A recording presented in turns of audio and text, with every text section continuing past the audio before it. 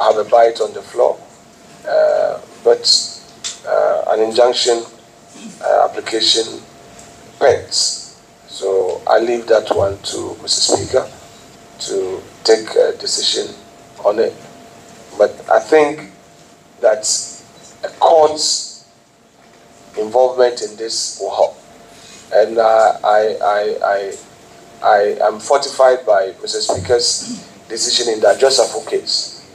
You know, when the Adjustable case uh, arose, the Speaker said declaration declaring seats vacant should not be matters to be taken lightly.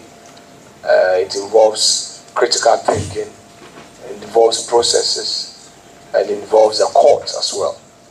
Of course, people have been referring to Speaker Oquaye's ruling uh, in the formula matters and all that, you know, but uh, it is what it is. I mean, if Speaker Oquaye made a ruling suo motu on a matter, uh, that that ruling was not a court pronouncement, but that's a speaker's ruling. Um, I am of the view that the matter was not tested at the time in the courts. This is the first time that this matter is being tested. So I would not want to go into the Speaker Oquaye ruling. Rely on the steps I've taken and pray that the Supreme Court gives us a clear pathway on this provision. So that's about it. Thank you very much. Men and women who have been uh, elected, and I'm sure we all have a common understanding that where there is a disagreement, we need to follow due process. So I don't expect any rancor. In fact, I was happy uh, being served with a copy of the petition uh, of Mr. Haruna Iddrisu. And I also indicated to him that yes, I'm also in court on the same matter. The issue is about Article 97.1, B2, E, J, and H of the Constitution. So back to your question, you know, there, there, there are two arguments.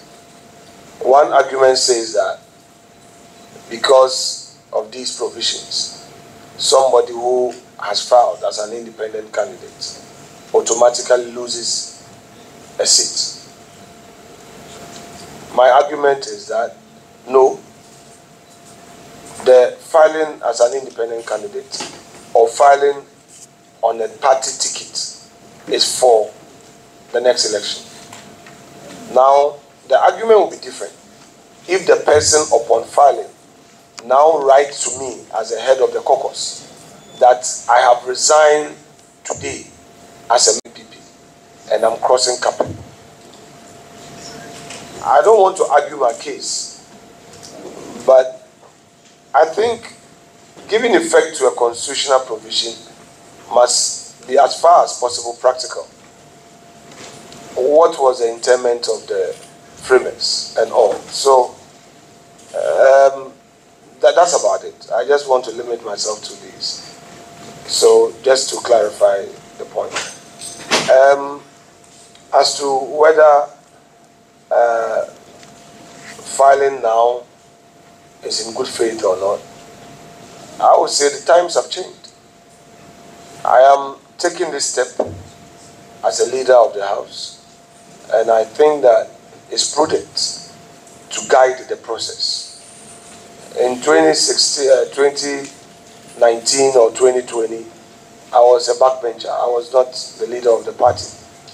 So I couldn't have been clothed with that capacity to take certain major decisions, uh, the nature of which we are describing today. So I'm acting in good faith. And I believe that this will help settle the matter. I, I go to Supreme Court as and when it's critical to do the way it is. There is a matter that has been raised, and the matter has to do with decision of a member of parliament in an election ahead of us. I have taken it upon myself that it is important we get a court pronouncement on this matter, and that's it.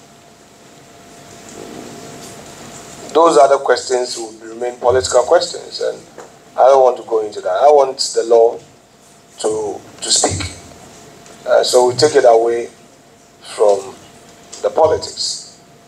Uh, a political pronouncement is not the same as a legal pronouncement, and I'm sure you understand that. And uh, clarity on the court. I think I instructed my counsel to do so, um, and I'm told it's been done.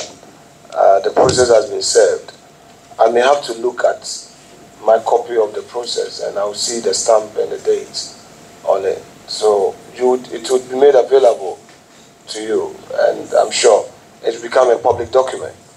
So don't worry at all about that. But clearly, you will get to know, okay?